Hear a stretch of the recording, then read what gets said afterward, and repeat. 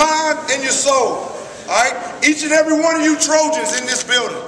All right? We're not going to leave the building. We're not going to leave the stadium tomorrow until we win that game. Kane is in the building.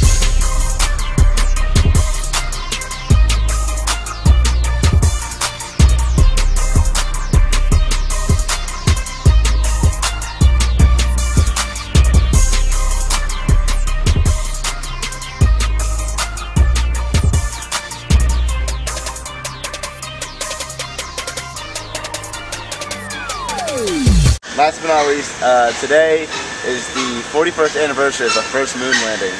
So if you had to bring one thing to the moon with you, what would it be? If I had to bring one thing to the moon, I would definitely bring,